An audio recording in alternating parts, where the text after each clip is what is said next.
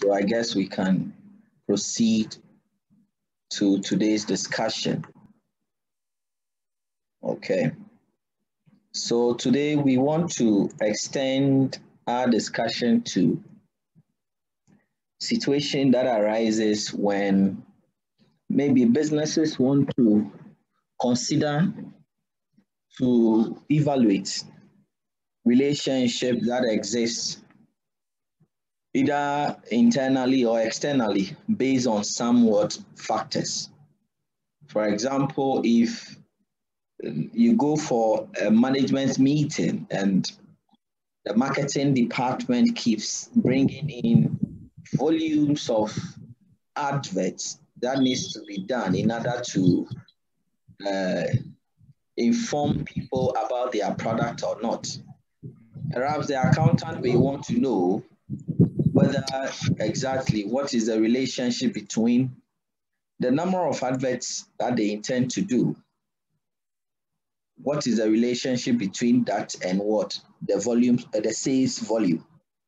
Okay, so in this case, they are looking at whether the more advert we do, okay, would increase or maintain or decrease what? Sales what? Volume.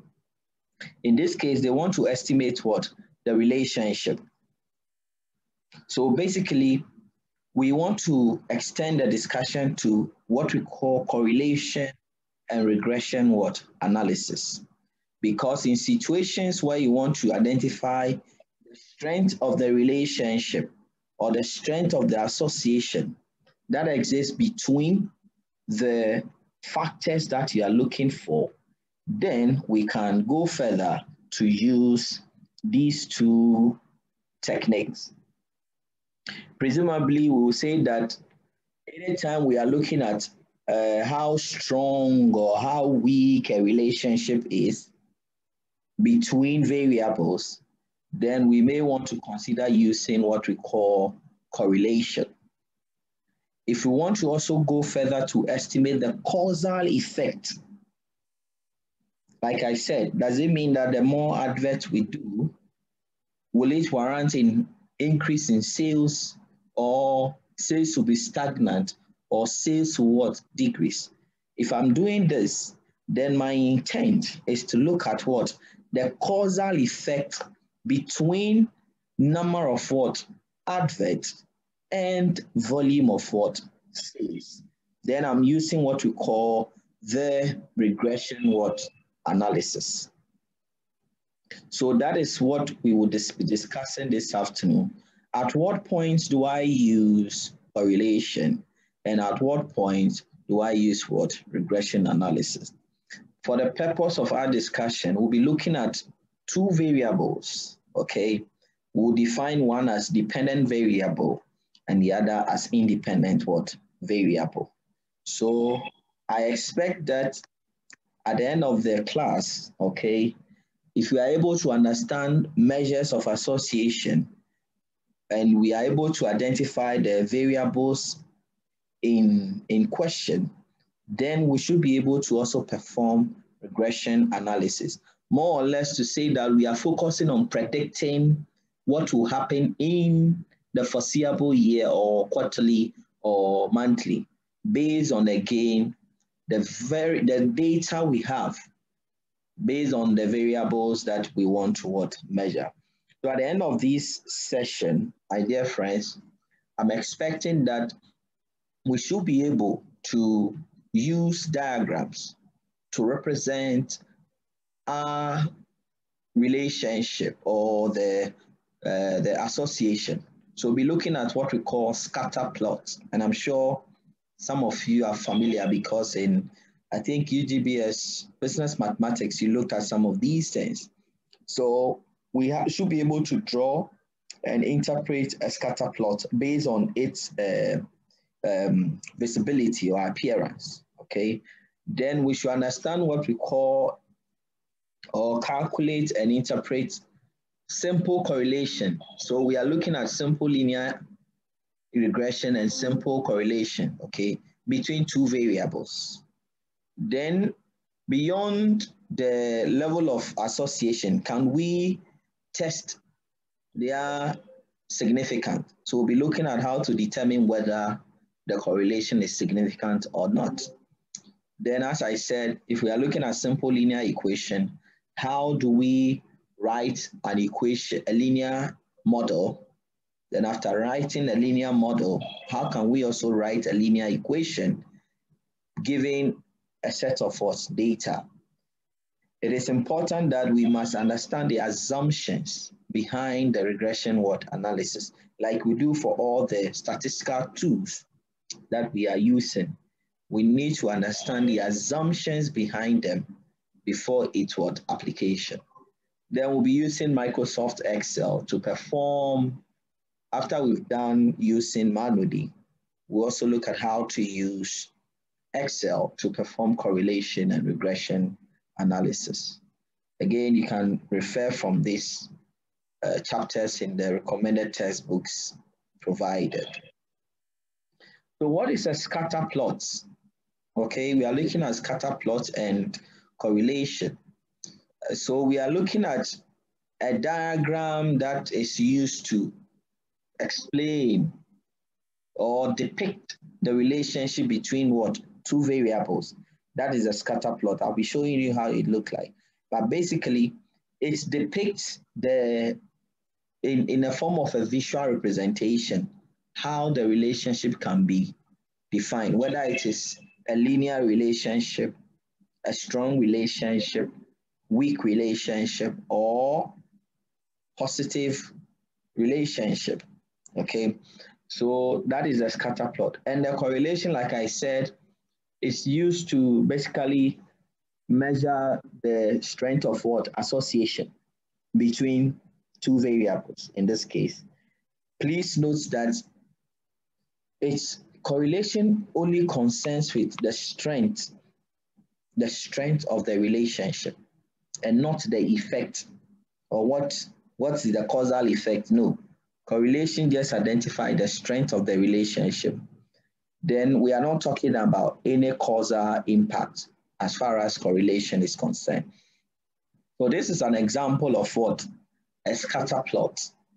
So if I have x and y, where x is my independent variable and y is my dependent variable based on the data I've gathered.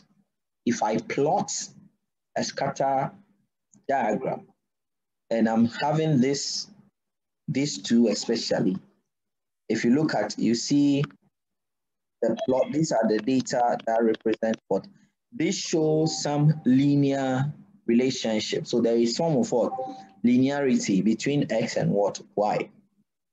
So if I want to draw my straight line, I could just draw my straight line upwards this way.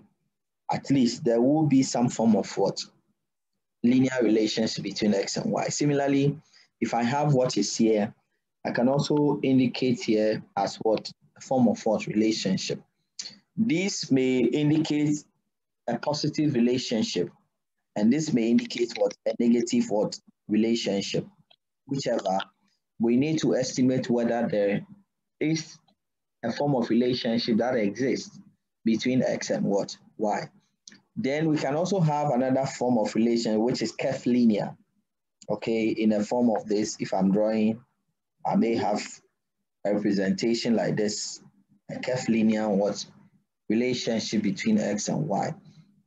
Then, as I said, the strength of the relationship this could be positive and this is negative, okay?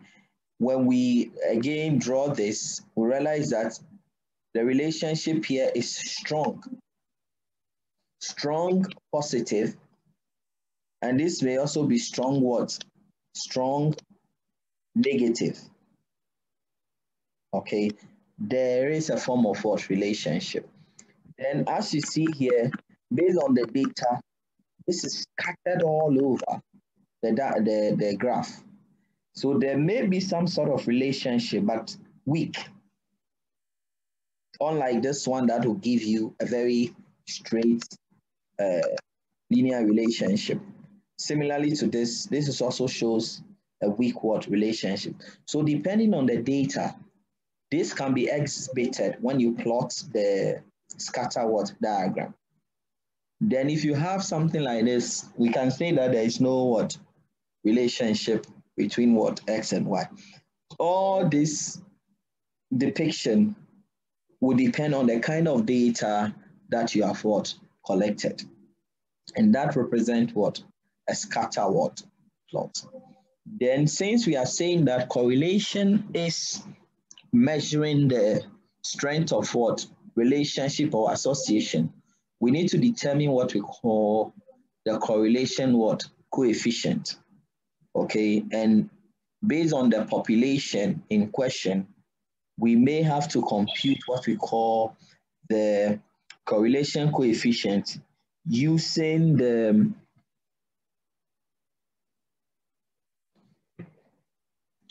P small the P letter defined here and for the P it tells us the level or what is exactly the value of what the relationship. And this is based on what your population. Usually we call P as a Pearson product moment correlation. Okay, usually we call it the Pearson product moment correlation. Okay, and often, as I said, because it's difficult to reach the entire population, we use what we call the sample from the population. So instead of computing the, the population correlation coefficient, we end up computing the sample correlation what coefficient, giving us what? A small r here. Okay, and that estimates is the estimate of what? The population correlation coefficient. And it's used to measure again the strength of the linear relationship in the sample observations. So our concern is to determine what the sample correlation coefficient at what R. And R value, or if we are even computing the product moment, the Pearson product moment correlation, we are looking at values that ranges between what minus one and what? One. Those are the values we are looking for. So that if a value is closer to negative one, we're saying that the stronger the negative linear what relationship. If the value, that's the R or the P, is closer to positive one, we are also indicating the stronger positive what linear what relationship. Then if it is closer to zero, we indicate the weaker linear relationship. So once you determine your correlation coefficient, you should be able to define its strength of what association. Is it positively strong or negatively strong or positively weak or negatively weak? You should be able to define that based on the values that we obtain from, again, the sample observation or the sample data that we are using. Okay, then the R can also be estimated as such using again the, if we want to use a, a diagram. Okay, so you see that when we're looking at the scatter plot, we identify strong negative relationship. This is for that explanation.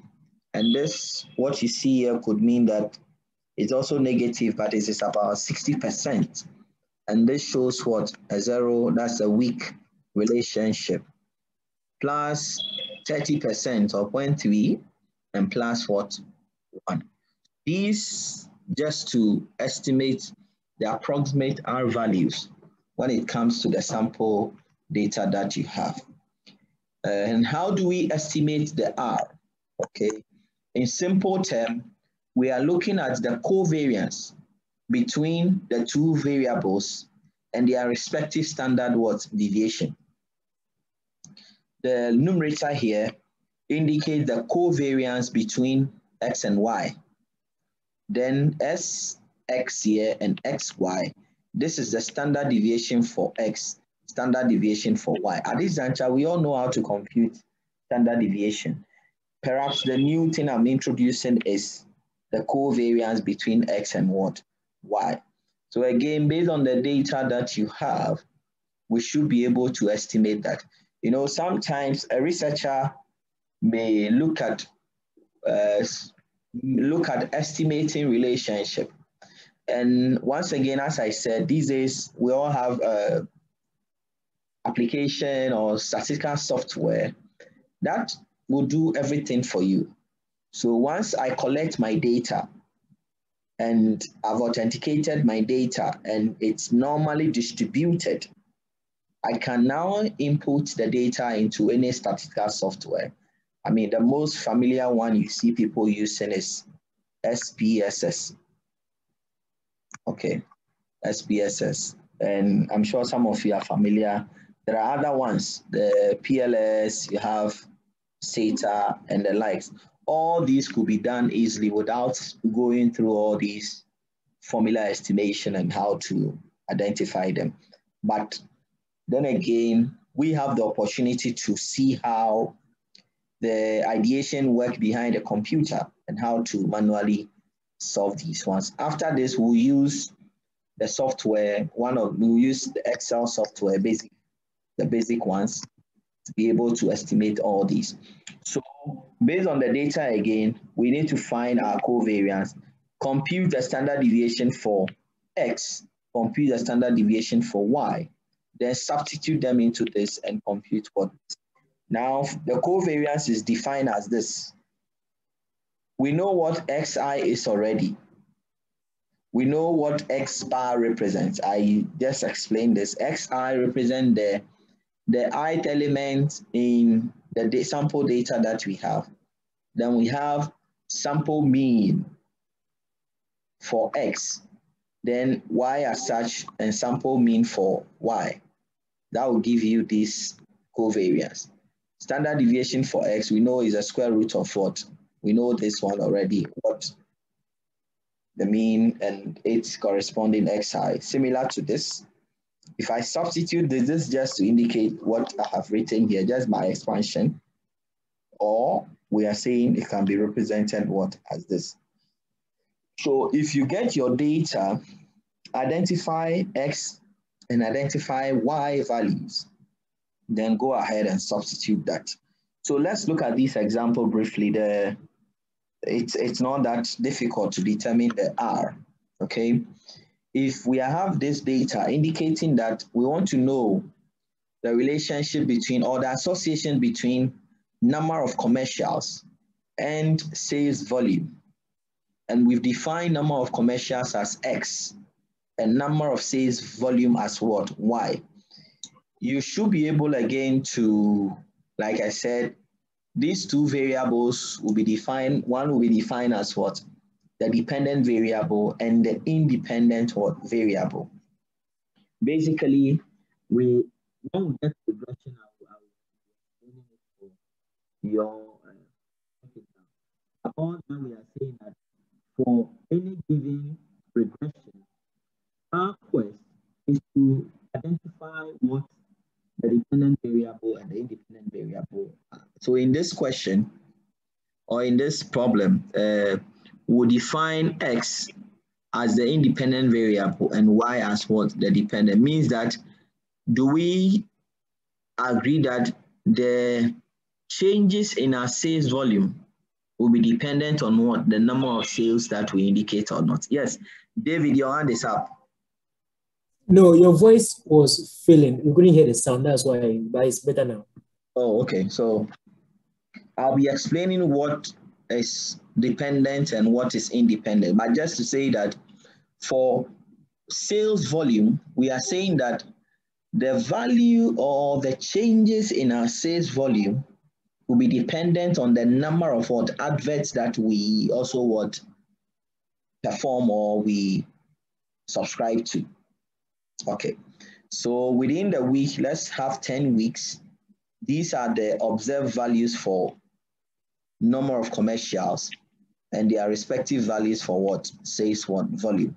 Remember, we need to define the covariance, that's the numerator, and that is giving us what? We said this is our covariance. xi minus x bar times yi minus what? y bar, and the sample size is n minus what? 1. Therefore, these are the xi, okay? And these are the yi's. Please note that. Okay, now, first of all, we need to find our x bar and y bar. Okay, if I know my x bar and I know I know x bar here is going to be what? The sum of all the ith element divided by what? The sample size. Okay, means that the sum is 30. 30 divided by what? 10. This will give me 3. So that is my x bar is 3. Y bar respectively is the same. The sum of all these, which is 510, divided by what? 10. Divided by, yes, divided by 10 should give you what? Should give you 50 what? 51. So if I know x bar and y bar, I'm saying that we are going to compute for each where i goes to 1, for each ith element, we need to define the difference between what? The ith element and the corresponding sample mean. So what you see here, x minus x bar is 2 minus what? The sample mean, which is negative 1. 5 minus 3 is 2. 1 minus 3 is minus 2. 3 minus 3 is what? 0. 4 minus 3 is 1. 1 minus 3 is minus 2. This will give you 2. 3 minus 3 is 0. 4 minus 3 is 1. And 2 minus 3 is also what? Negative 1. So we've defined the whole of this minus what? X bar. This is this one. Then we are saying yi minus y what? Bar. For each one of them, remember we said where i goes to 1 for each value. y bar is 51. So 50 minus this is minus 1. This will be what? 6. 41 minus 51. That's minus 10. 3, 13, all of this respectively. And this gives you my y minus what? y bar.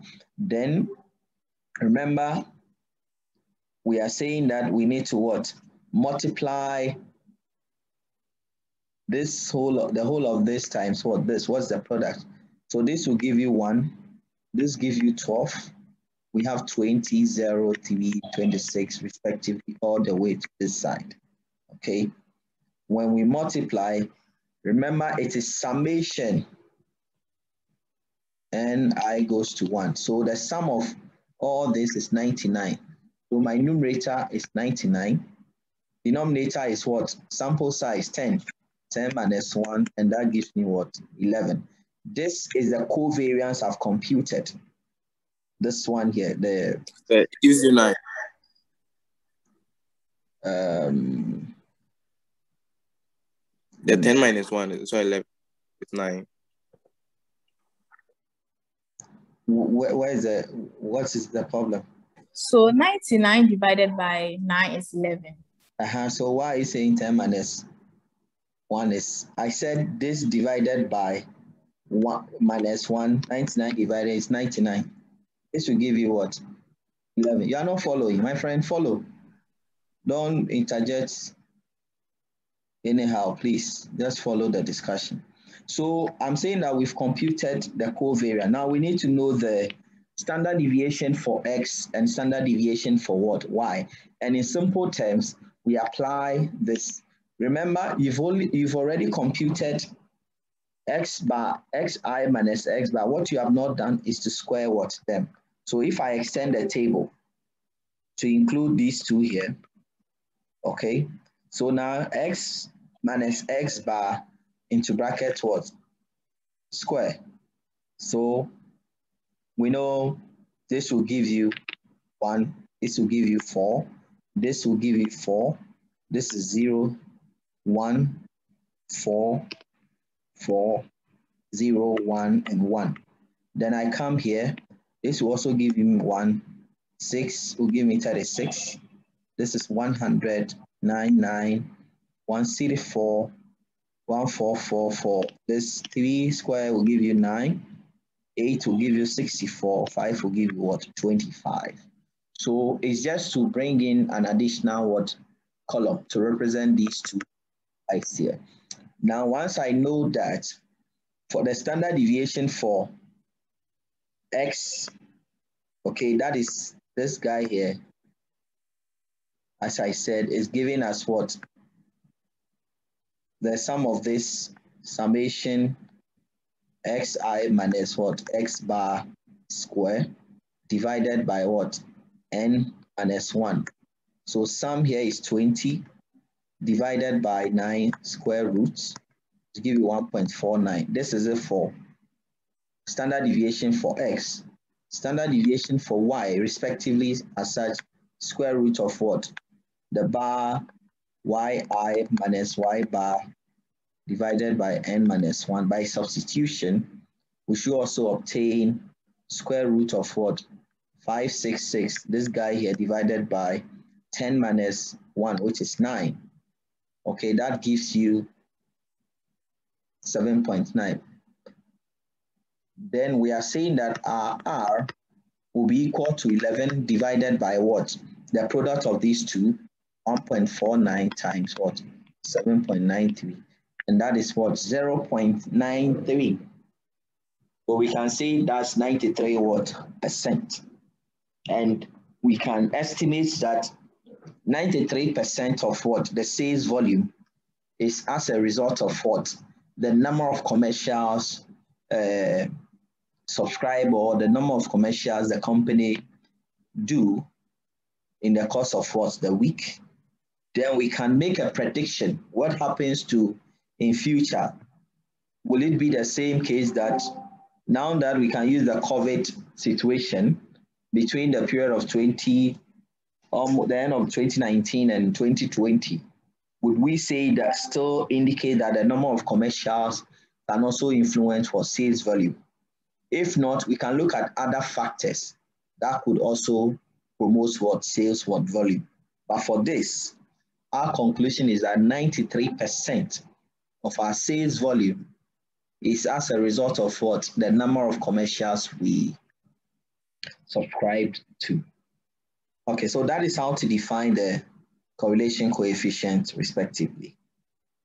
Uh, we can also look at a different sample correlation using the algebraic equivalent, but uh, we won't be looking at this much, okay? But by way of doing this, again, we know what this signify, we know what this signify already in this class.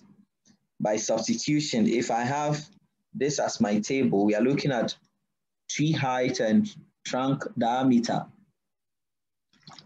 Then looking at the formula, we need to know summation xy. Most of you did this in SS, okay, and summation x and summation y. So basically to say we have to, this time this respectively will give us this. Okay, we know the sum of all these. y square, we know this is y square, this is s square. Given here, that's the denominator. Once I'm able to estimate this, I should substitute and compute my correlation what coefficient. So either we are using the this sample correlation or we use the algebraic what equivalent to determine the correlation coefficient. Okay. So it's basically to say that the correlation coefficient determines how the changes in the dependent variable is as a result of what the changes in what the independent what variable so please note that then as we do we need to test the significance of what the the, the, uh, the association or the correlation we have indicated. And here we are using, again, hypothesis. And in simple terms, hypothesis is saying that our population in question, okay, there is what?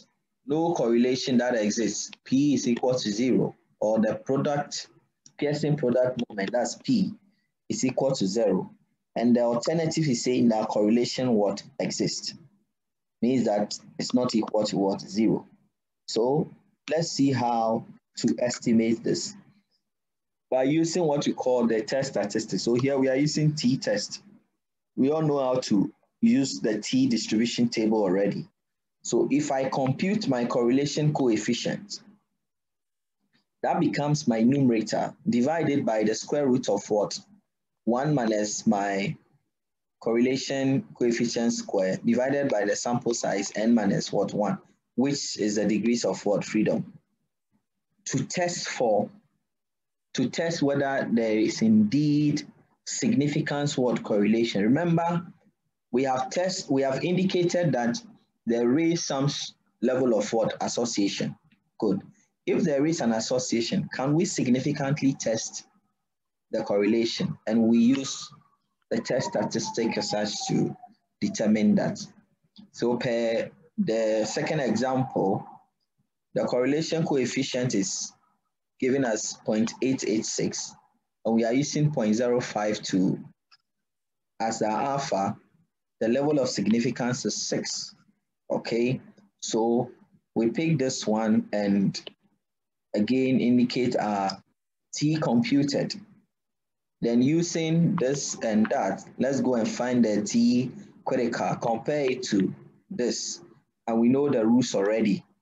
If the computed is greater than the critical, we reject the null hypothesis and conclude that there is evidence of what linear relationship at 5% level of what significance. Uh, let me quickly pick a data. I want to use Excel so to explain to you quickly for the correlation. So let me show you my, share my screen. Can you see my screen now? Guys, can you see my screen? Yes, please. Okay, so Yes, please. If this Yes, happens sir. to be the data Yes, please.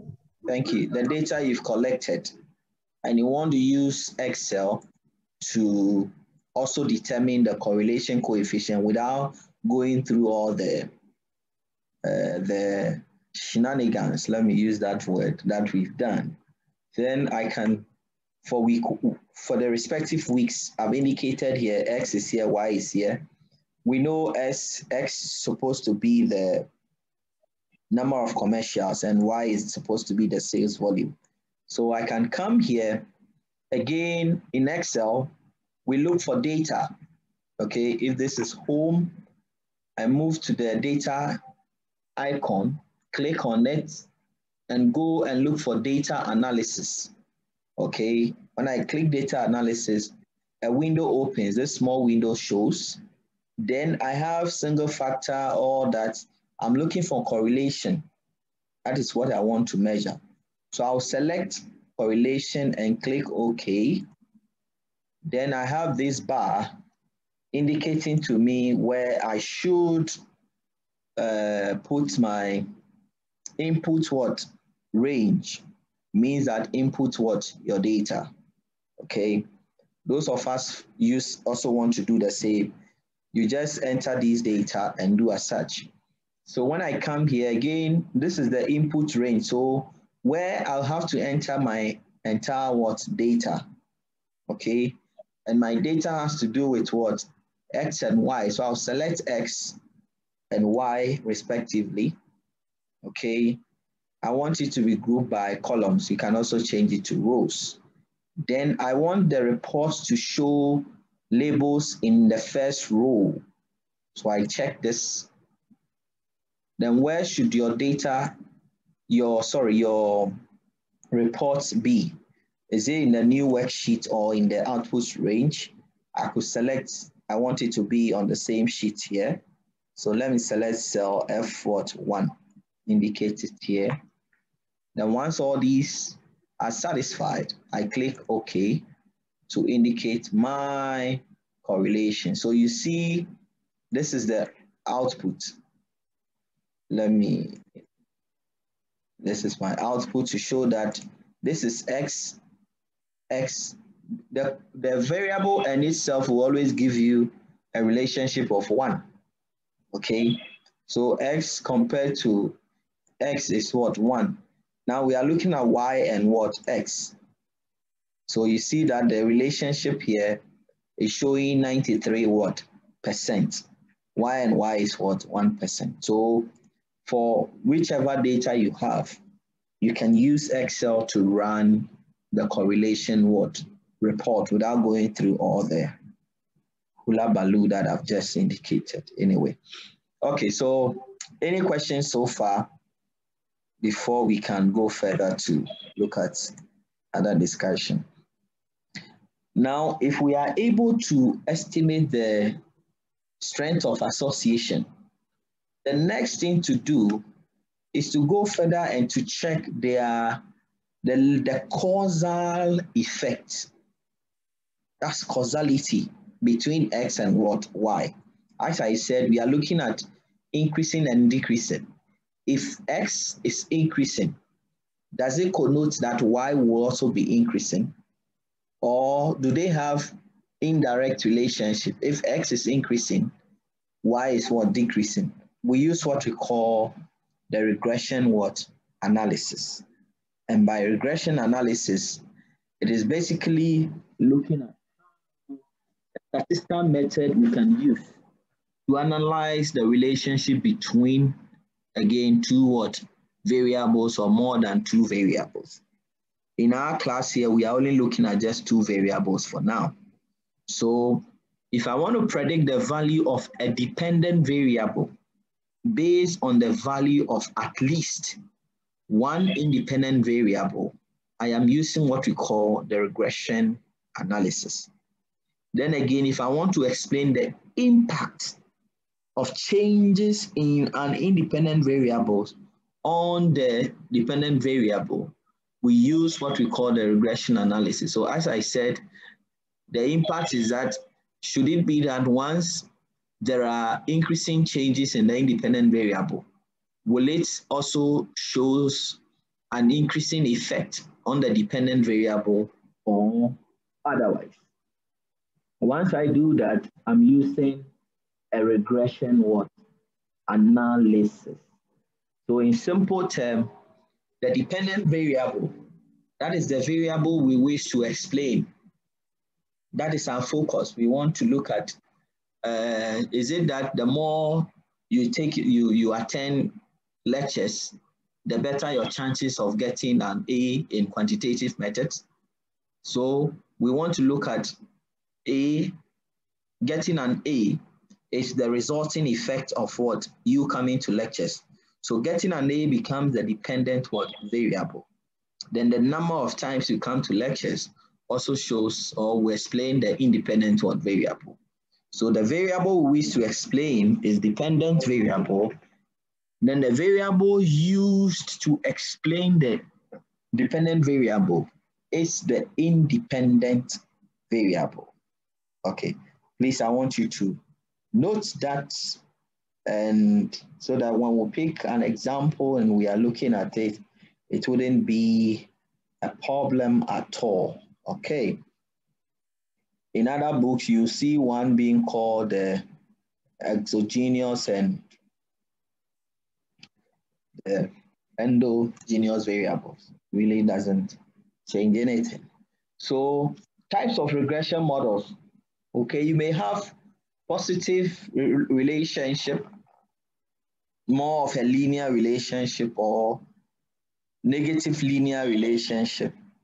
Okay, means that if I'm saying that positive, then there is a direct relationship between the two variables.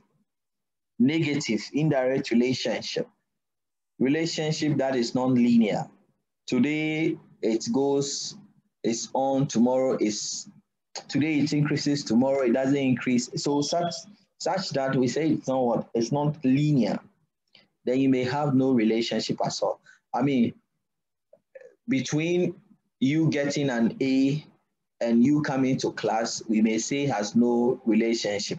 In fact, the number of times you come for lecture does not guarantee you getting an A in quantitative methods. However, we may look at other factors like how you study. So your commitment to study will rather show the level of what, uh, whether you are getting an A or you are getting otherwise, then we'll say that there is some sort of what relationship or no relationship at all. Okay. And so we are looking at simple linear regression. Simple linear regression. Next semester, if we are able to meet again, then we'll be looking at a multiple regression model. Okay, but this class we look at just the simple linear equation where we are looking at one independent variable defined as what? X. So relationship between X and Y. If it is a multiple regression, you will have one dependent variable with several independent variables. Okay, so that's what we are looking at. Then changes in Y are assumed to be caused by changes in what? X. What you have here is what we call the regression model. Okay, so anytime I'm dealing with regression analysis, I should be able to indicate my regression model. And the regression model is written as my dependent variable, which is y, is equal to the population intercept. Okay, so usually we say the b, the beta naught. That's the population of y what intercept, beta naught, plus the populate the slope, that's the beta one, the slope of the coefficient, multiply by what? The independent what variable, plus what? The random error, the noise, or yes, we usually say the noise. What this noise is saying that apart from these independent variable that you have indicated here, there could be other variables that we can use to predict what? Why? But because we are not considering that, we are using this error term here to just mitigate such factors that we have not what considered as far as we writing what the model we have here. So please note that the error term here is just to indicate the noise or mitigating the chances of we not bringing in other factors. Okay, in other books, you see it being written as mu i. Okay, it's the same. That is the random noise, or we say the idiosyncratic error for the observation that we want to identify. So this is a regression what model. So like the sales volume and the number of commercials, if I ask you to write the regression model, we can write here y, we'll put our sales here, equals to our beta naught plus what? The beta one, which is the slope, times x. And next here we are looking at what? Commercial. So I can indicate here commercials plus my error term. This is a regression what model. You don't have to confuse yourself with a regression model and a, a regression what equation. I'll be explaining that later. A model has to do with this as we indicated here, and the equation usually we take out what the error term there to indicate what the regression what equation. I will write a model as such for you to uh, see. All right. Any question? Any questions so far? David, do you have any question for the class? Everybody seems to be quiet this afternoon. No, sir. Have you guys had lunch? Have you guys had lunch? No, no. Oh, you've not No, eaten? please. Yes. Okay, after the class. Yes, yes, Oh, some No, have it's not eaten. eating. No, sir. Not eating. sorry, Okay. I'm not. You are broke. After the class, see me. I'll give you lunch. Don't worry. David, Yes, sir. if I give you one yogurt each, at least it's lunch, right? Thank you, sir. Please let me. God bless you. Okay, the class is In moving advance. fast. Okay, I'll, I'll slow my s- my discussions. Okay, so this is how we write the regression model based on the observation that we have in question. Okay. All right, so let's let's progress. So just as we looked at what the statistical tool is, we also have to identify the assumptions that defines the model. Okay. And usually these assumptions, anytime you are using a statistical tool, somebody may ask you, what are the assumptions that underlines or defines the use of what? These statistical tool that you have what indicated. The underlying issue is that we want to look at linearity between x and what? y. This one. Okay. Let's talk about the linearity between x and y. Can we say that y has a linear dependence on x? Or what is the relationship between x variable and the y what variable? So we are defining what we call what linearity is very, very important. Then the next thing is that we want to identify whether the data or the sample you are using is it normally what distributed. Means that we are looking at at every point in time the variance are they homogeneous or not. So we say that error values are normally distributed for any given what x they should be normally distributed. I mean, in some books, you see homoscedasticity, okay, which simply to say that you want to look at the variances are what? Homogeneous. And again, we are saying that the errors, which is this, the error values are statistically what? Independent, okay?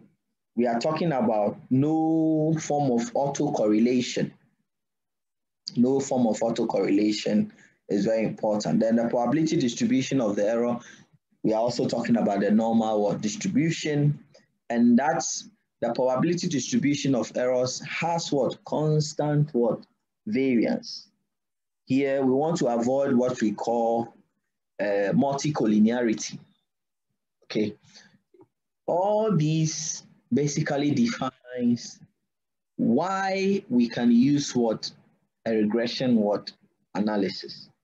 If these assumptions are achieved, then we can say that you, uh, your, based on your sample data, you can use what the regression analysis. Let me be quick to say that sometimes as a researcher, you collect the data, okay, in, in, in your mind that your study is about trying to estimate relationship between a dependent variable and some form of various what independent variables.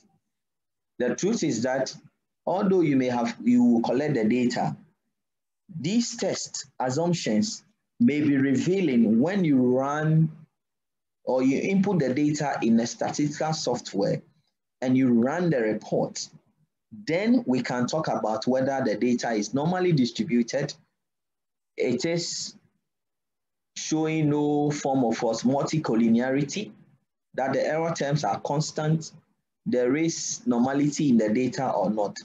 So these assumptions will be critically tested. Oftentimes, I've been on seminars where students present their work. They will say they are using regression analysis. Then when you are looking at their reports based on the data they have generated, you see that these assumptions have not been met based on the data they have what collected. So we often say that be sure with the data you are collecting because as we say, the data will show you your real what size. whether what you are doing will lead you to achieving your objectives or not. So please note that these assumptions, as I said, becomes more of a reality when you start with your analysis. I, I hope I'm going slow now. Is the pace okay? Some people said I'm going Yes, too sir. fast. Okay. I speak too fast. I don't know. It's part of me. Anyway, so let's go on. So based on that, if I want to again draw a straight line based on the sample that I've collected, then these can explain, the diagram you have here can explain the regression model as indicated here as such.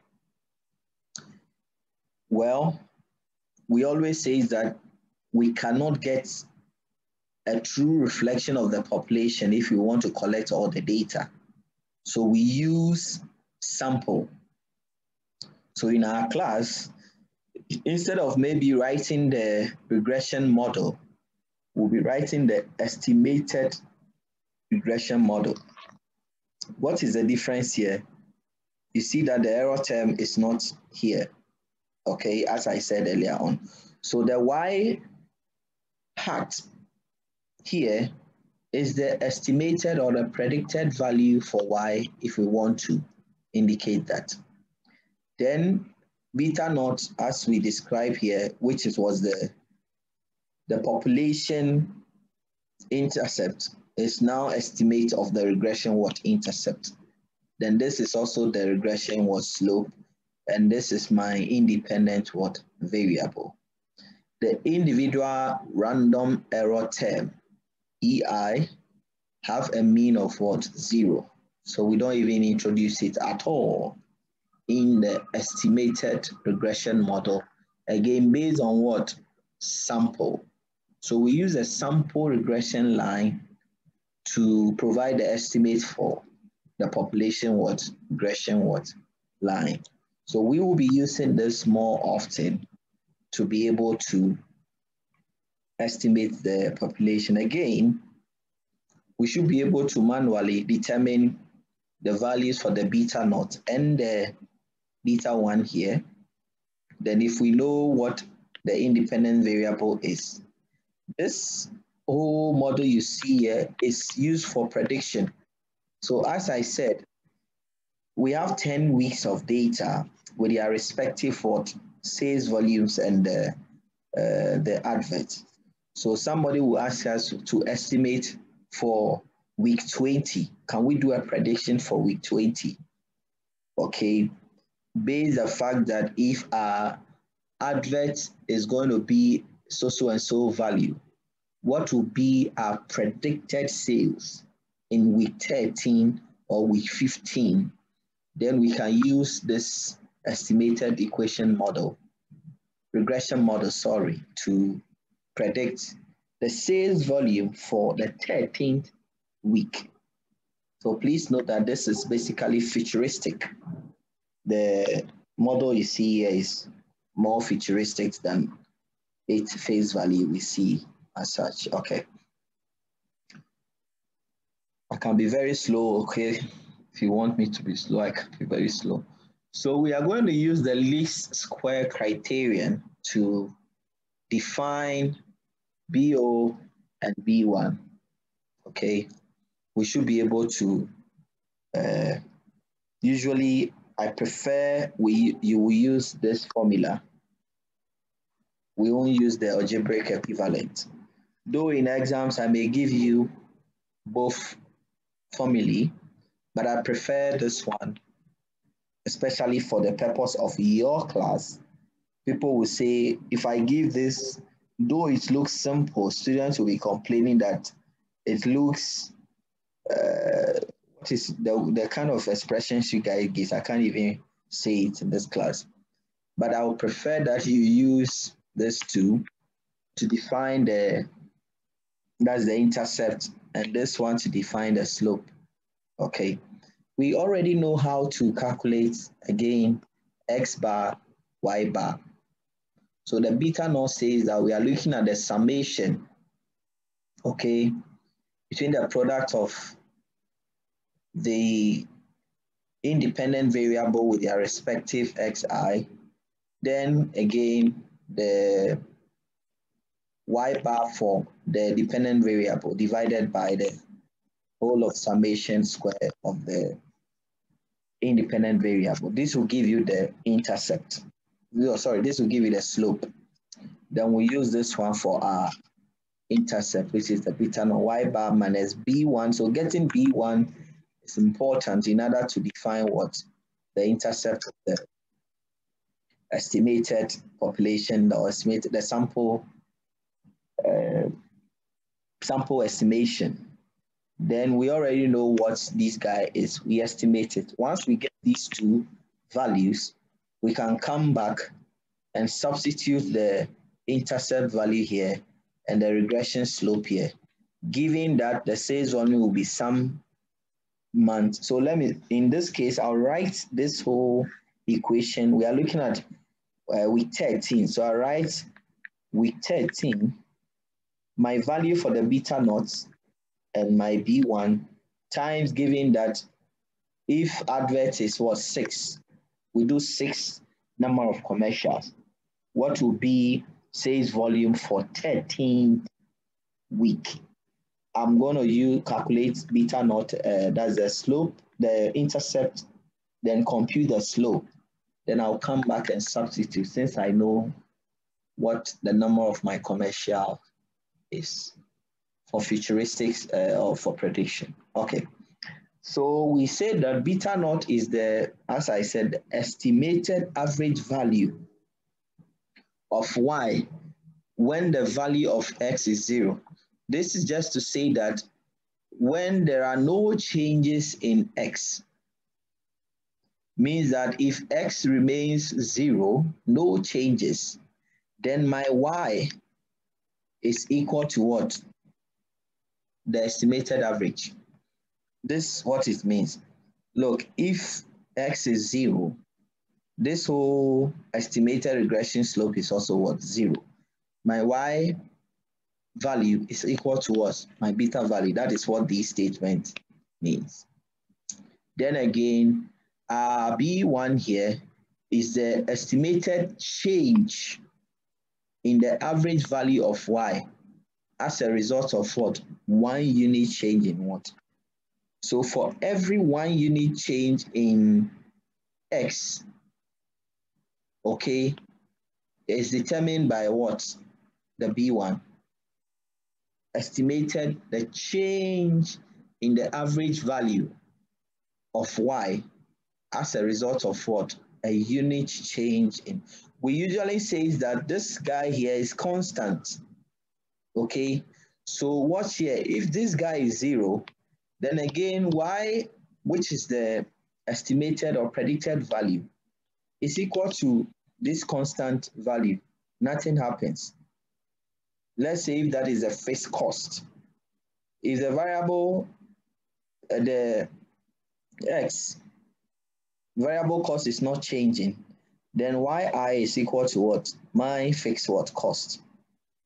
But however, the unit change in x, okay, the estimated value of y will be as a result of what? The B1 here. That's all the statement here is trying to indicate. So please note these two explanations so that if I ask you to explain it, you should be able to follow as such. All right. Then finding the least square equation. So we need to find the coefficient of beta naught and beta one. We can again use, sorry, Excel to do this easily, or we can manually what compute it. Other regression measures will also be computed as part of what computer-based regression analysis. So let's see how to estimate again manually. Then when we are done, I'll pick Excel to also determine the least square equation. So can somebody read this example for us so we can do it together? Uh, Abigail, Abigail Ajele Edute, Wow. Eh, eh, eh, eh. Abby, can you read the question to us, please? All right. Um, a real estate agent wishes to examine the relationship between the selling price of a home and its size, measured in square feet. A random sample of 10 houses is selected. Okay. Okay, dependent, please should I read that part? Yeah, go on. Okay, dependence variable Y is equal to house price in thousand dollars. And then independence variable X is equal to square feet. Okay. All right, thank you very much. Okay. I mean, is this does this make sense to all of you? I mean, currently people who are into real estate, do you think the square the we use uh let's here 100 by 70 or 70 by whatever or whatever whatever when they build the house do you think the size of the land determines the price of the house i mean Yes, you do. Okay. Beyond that, what do you think are the other factors that influences the price of the house? Sometimes the locality. The geographical location. Is that it? Yes, okay, sir. what again? Oh, somebody said the area. Okay. What other factors?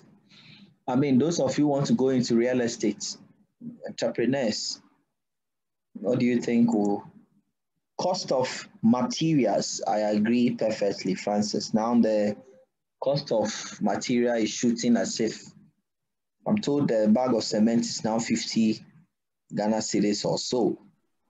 Social amenities, okay, like Valentine, can you give us an example? What are some of the Uh, so if, Mhm. okay, let's say electricity for electricity for example. So Mhm. if in the houses, if there is electricity, I think the price of the house will be lower than if there isn't, because if electricity isn't in that area, cost for them to bring in there. Oh, okay. So electricity can play a factor. Okay. Any other example? Uh, structure of building. It could be self-contained, a flat, a story building.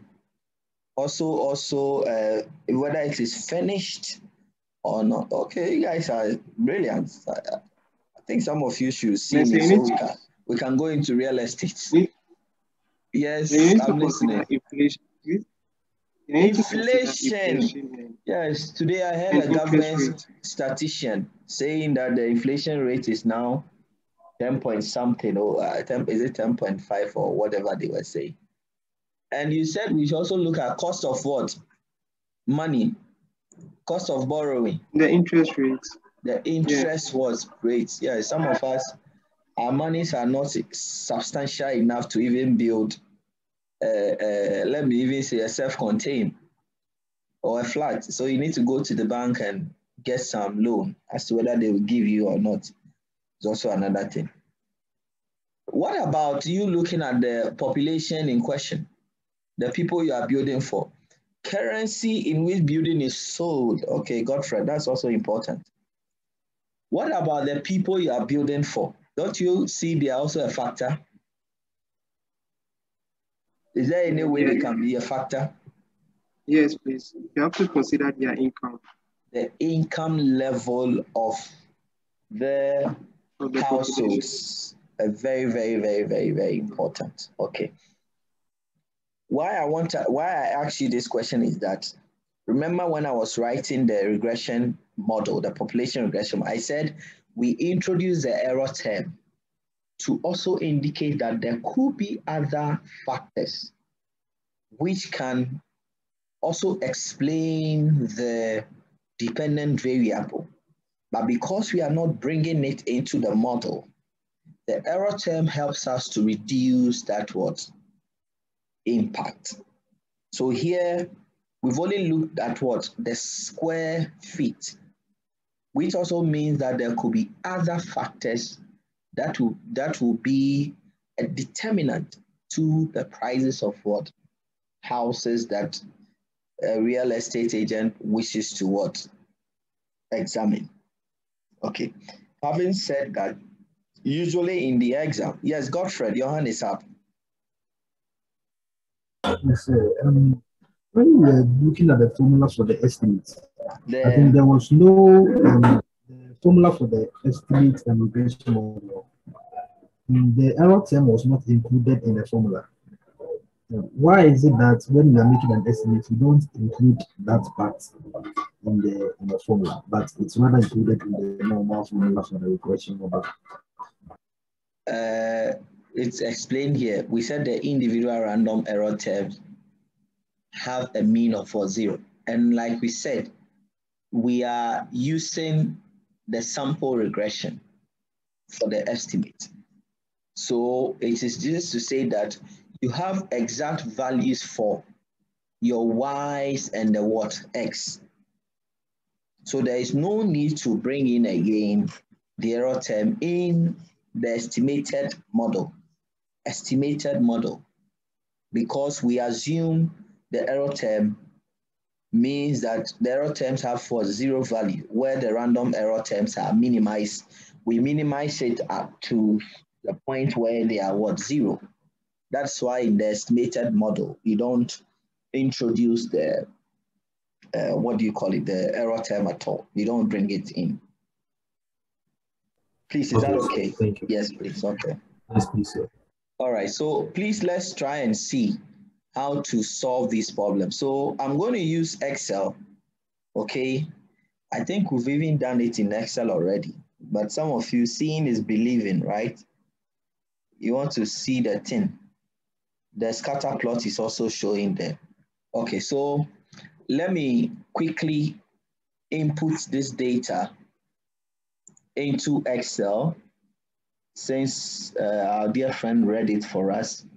Let me quickly input it. Then we can together use Excel. Those of you have your computer, if you want to do along, you can also do along quickly. Then we can all have a fruitful discussion. All right, so let me exit this, discard this. Let me go to Excel. Let me use sheet three. Uh, I hope you can see my Excel. So we said that this will refer to the house prices. So let's say this is house prices in dollars. So, and this guy here will represent the square feet. Let me be quick to say that uh, regression analysis deals with only numeric data. So we cannot go and pick what? Uh, well, we cannot measure some form of data that is not what? Numeric. All this guy, the regression does is that we are using numerical data to estimate our regression. So please note that, okay, we are using numeric data. So normally we say the variable must be metric. If the variables are metric, then we are talking about quantitative data. Before we can, I mean, there are instances that your independent variables may be some non-numeric. We'll talk about it later. We call them the dummy variables. But basically, you need to indicate that your or your the independent variables should straight away be what? Metric what data, that is quantitative data. So let's enter our data here, 308, uh, 199, 219, I have 405, um, 324, 319, and 255. These are the prices Then we have 1,400 square feet, 1,600, 1,700, 1875, 1100, I have 1550, 2350, um, 2450, 1425, and 1700. Okay. So if this is my data, trying to increase. Okay. And as I said, we want to use, we can look at correlation and regression. I'm going to do the two together. So please follow.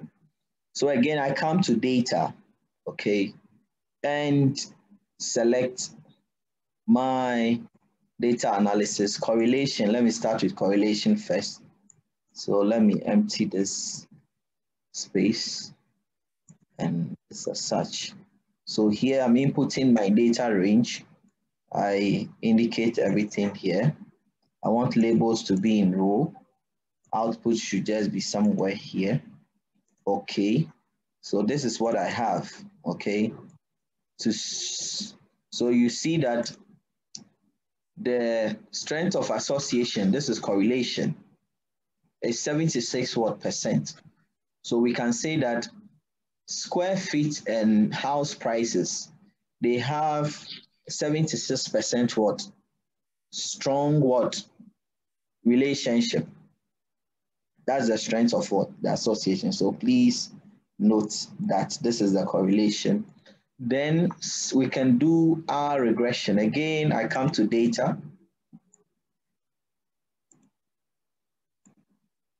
Come to data data analysis here. This time around, we are looking for regression.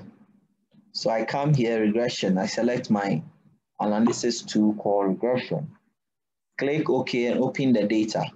Please note that you see that for regression, you have input Y range, input X what range.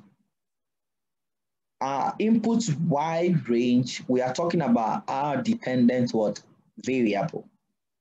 Then input X range, we are discussing what are independent what variable. So in this case, house prices is our what dependent what variable.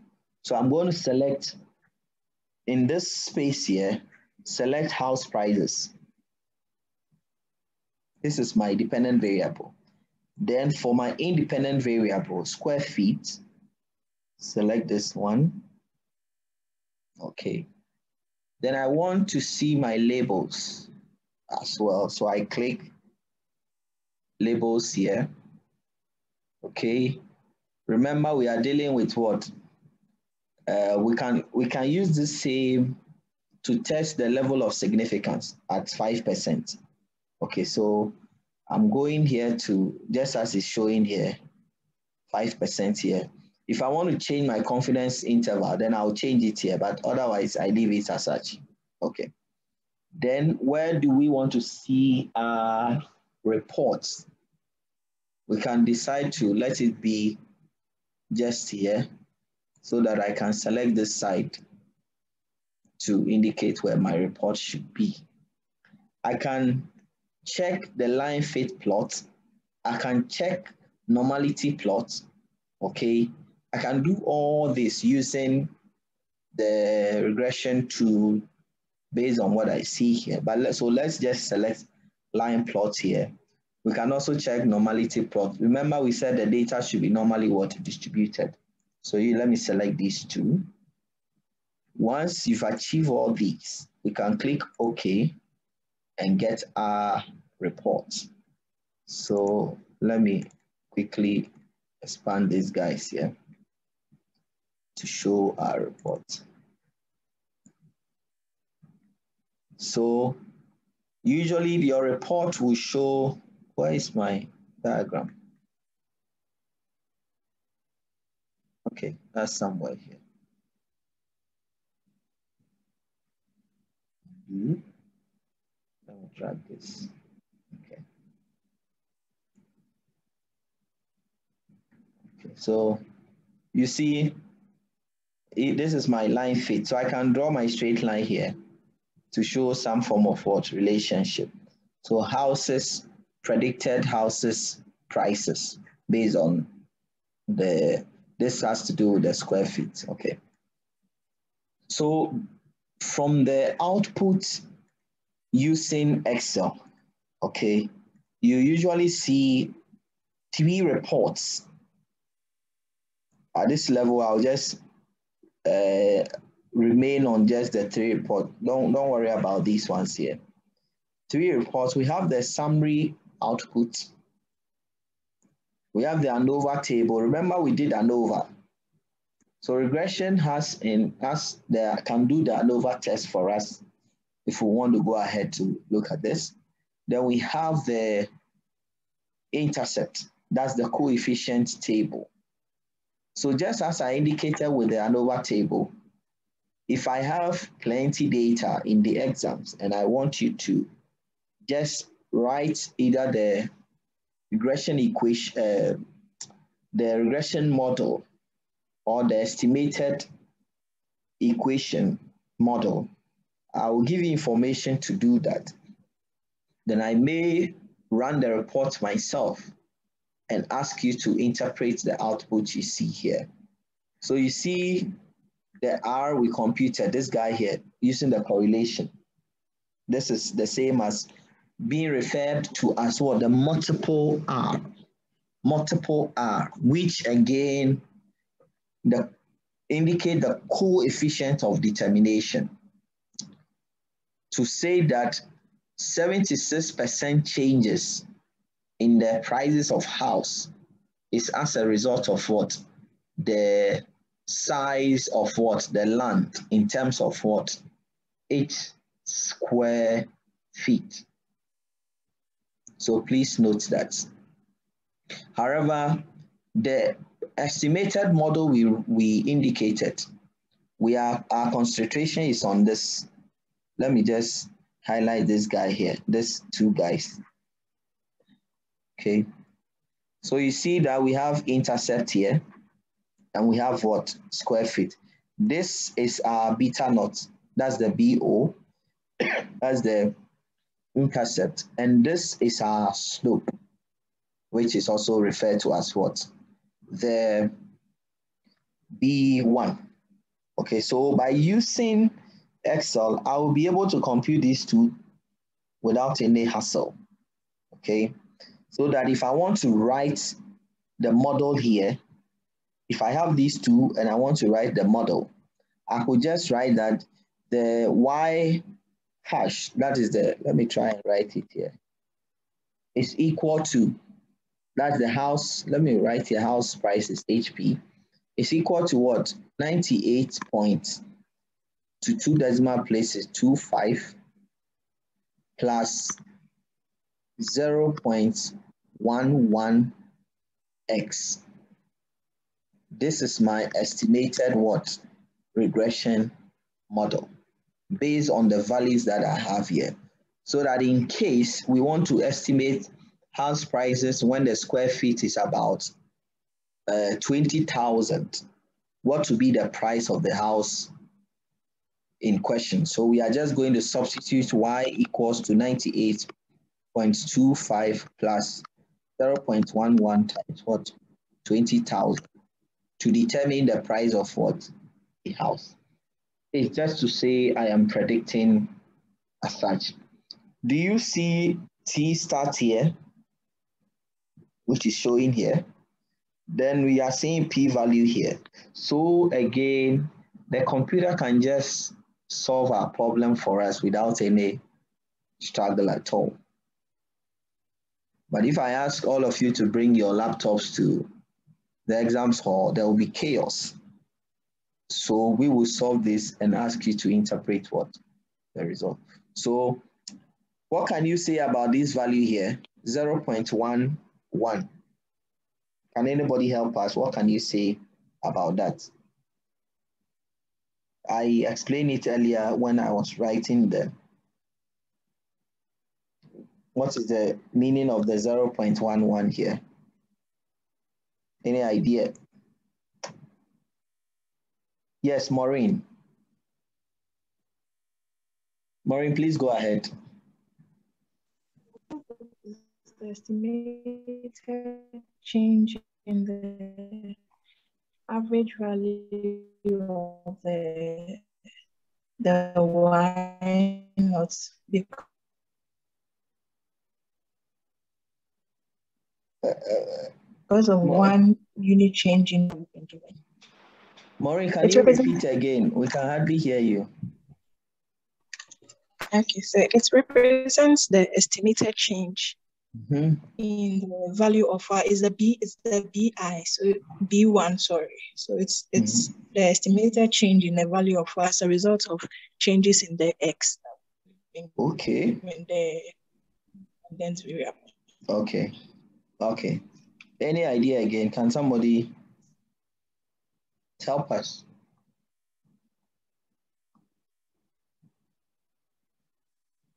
Any idea?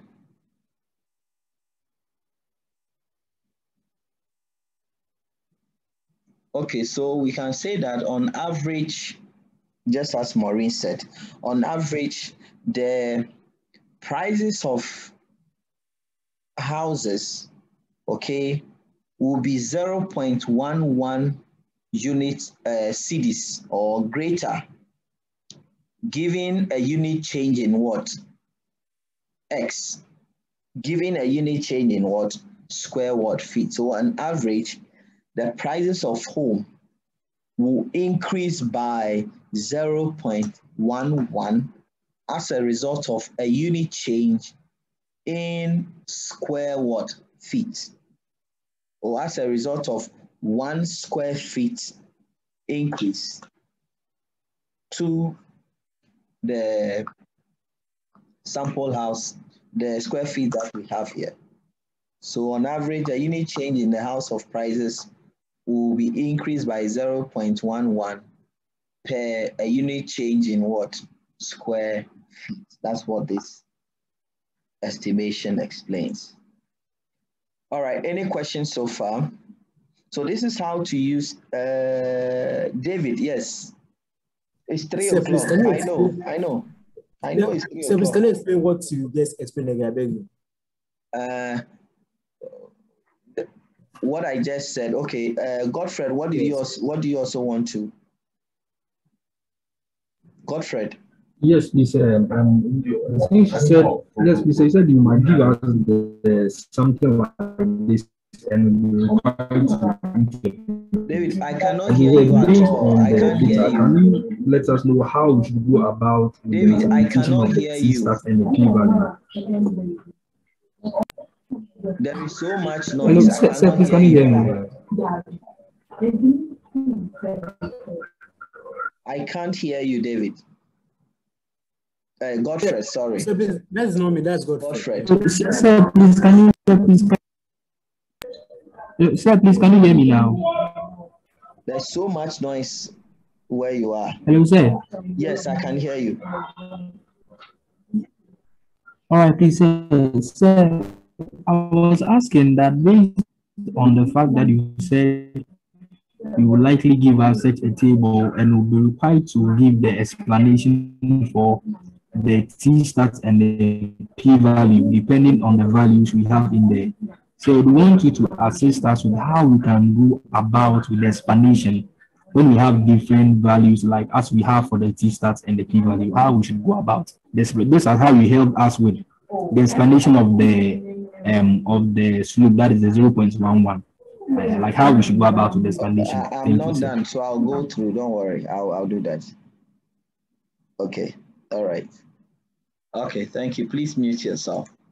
So uh, to answer David, David, we are saying that the information we have here from our output is just to say that when we look at the slope, which is the square feet value here, 0.11.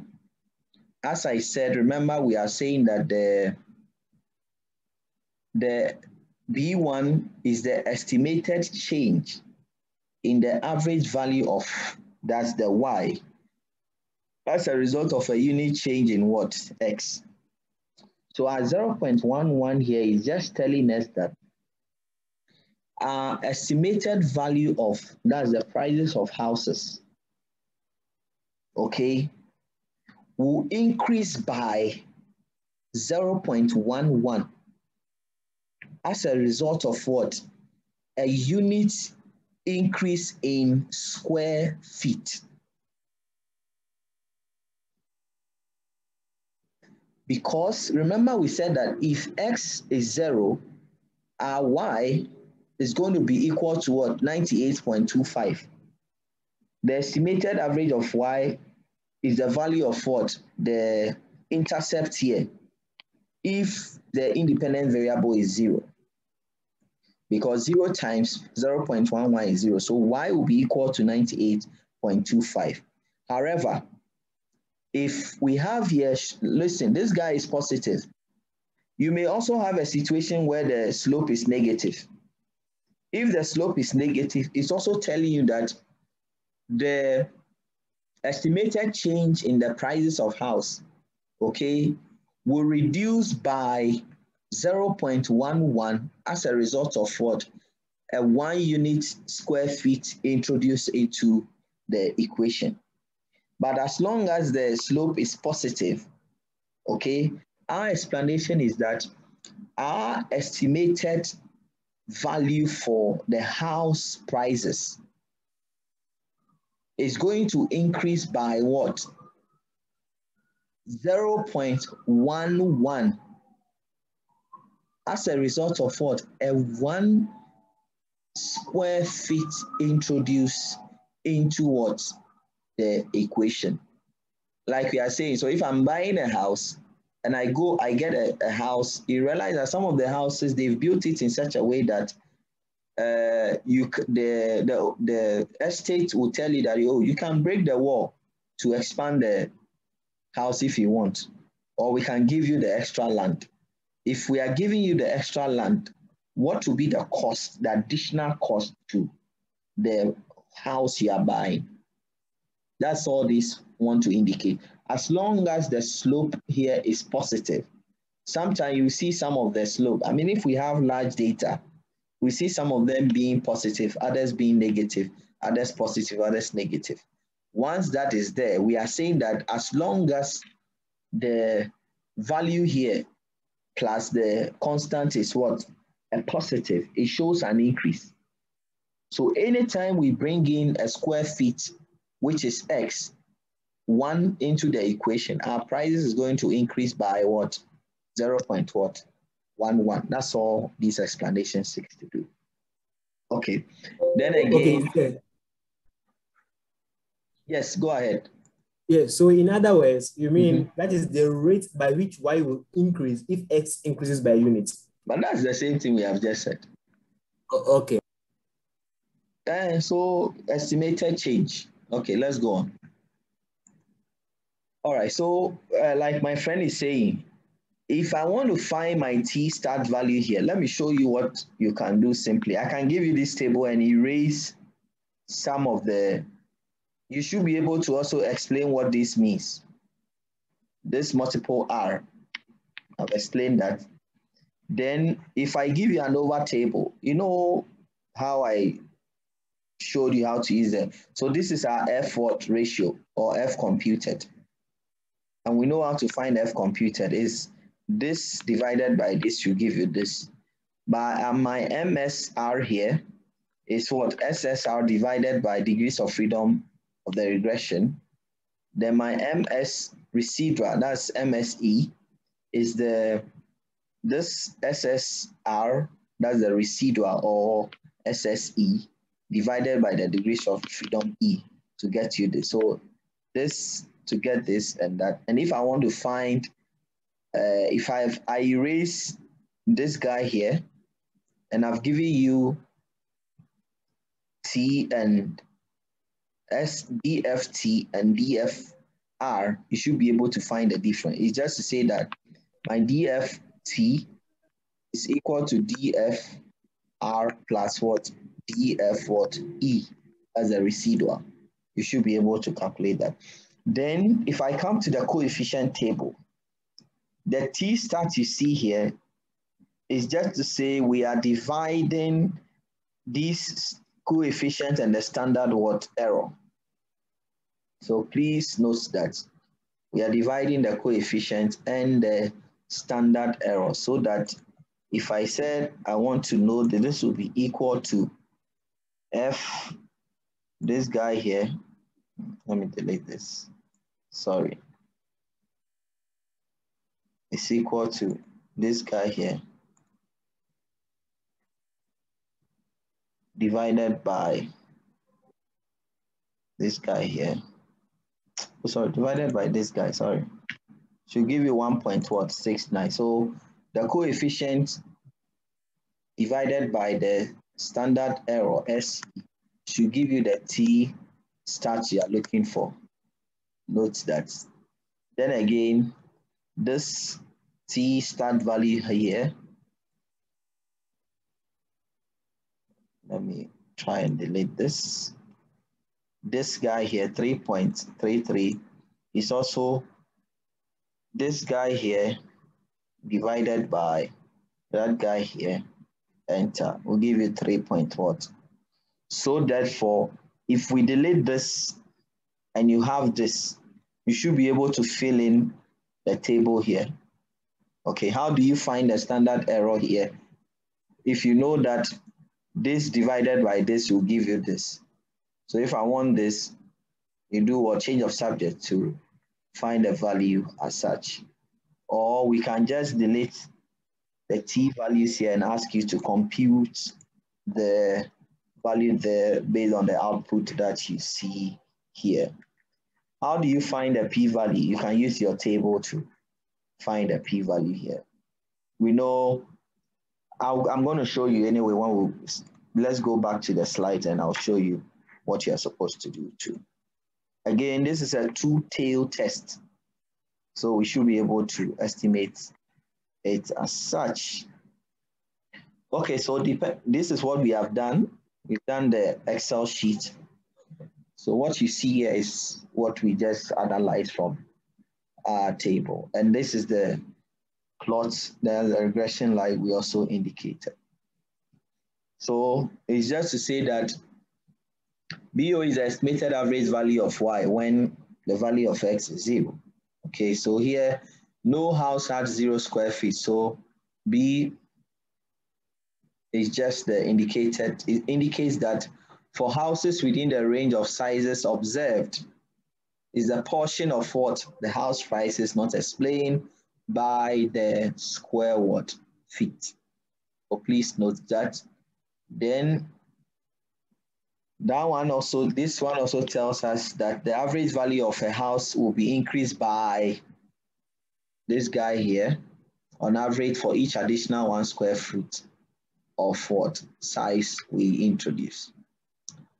Then from the table, we should be able to know what is SST, SSE, and SS what are. So when we are looking at some of SSE, that's what you see as the residual, okay, from our table. Okay, that should give you SST. So I can still give you the table and ask you to compute these guys here based on the table that uh, we've explained this, measures the variations of the dependent variable values around their mean. Then the SSE variation that are attributable to factors other than the relationship between what? Remember I talk about what? The errors. So that is what the SSE seeks to. Variation attributable to factors other than the relationship between what? X and what? Y. Then SSR explain the variation that is attributable to the relationship between X and what? Y. So please note this. Then if I want to define my coefficient of determination, which is R squared, I can use this guy SSR divided by what? My SST. Then the, we're saying that the R squared is a coefficient of determination, which is the portion of the total variation in the dependent variable that explain That is explained by what? The independent what? Variable. Okay. We can use this guy to measure this. So please note that. Then if I'm able to define my coefficient of determination as we did earlier, we should be able to estimate our graph as such and indicate which one has relationship. So this is the R square, please note it. This one is a correlation coefficient as we indicated. The R square is the coefficient of what which also explain that 58% of the variation in house prices is explained by what? The square feet. Okay, then how to determine this ones and now how do we test for the hypothesis? Okay, for regression, if we are testing for the slope, the test for the population slope, we are looking at whether there is a linear relationship between x and what, y. Then as we indicated earlier for the correlation is the same. Here we are looking at what? The null hypothesis to say that there is no what relationship. So we are looking at the beta 1 equals to 0. Then the alternative is not equal to, which is indicating there is what? A relationship. How do I find my T what stat? Okay, so B1 divided by the hypothesis slope. And here we are looking at the estimator of the standard error of the slope by, let's, let me just pick the values for us too. Oh, sorry. Okay. Okay, so that's what we have, the slope here. Good. Please watch here. So I know my T stat, that was what I was trying to uh, calculate for you, where I said that the T is equal to what? The coefficient divided by what? The standard what error. So that will give you your T computed value, okay? That is this. Remember, this is unknown, so this is zero. The beta, this hypothesis slope for the population is zero. So we are simply saying that T is equal to B1 over what? The standard what error, the estimator error of what the slope. Therefore, B1, if it's you are testing for the slope of the house prices between X and Y, then I know my B1 from the table is what? This is my beta naught, this is my B1. This divided by the standard error should give you the T computed. Once that is achieved, if it, you are using the critical value approach, remember it's the same assumption. But here, because the hypothesis is stated as what? Equal to and not equal to, we know it's a two-tail test. So we are reject simply the same assumption. This is a shaded region to be rejected. So find my degrees of freedom okay? Using the T distribution, I know I need to find my what? My n minus one, n minus uh, two in this case. Okay, then I read my table as such. So when I read the table, T alpha over two, and the degrees of freedom is 2.306. T computed is greater than what? The T what? Critical. This further to state that because we've rejected the null hypothesis, we can conclude that there is a linear relationship existing between the house prices, between the square feet and the prices of what home or prices of what houses as such. So there is a sufficient evidence that square feet affect house prices. That is how to test for the hypothesis, which is very simple. Don't be confused by this formula here. It's just to say that just pick the coefficient value and its corresponding standard error to compute the T what stat. Degrees of freedom again is n minus one. Alpha divided by 2 because this is what? 2 tail. Then we can measure that and read as such. Then we can also use the confidence interval, I mean, to look at the upper, upper and the lower. At 95% of confidence, the confidence interval for the slope is this guy here. Usually we look at the slope and not the intercept confidence interval.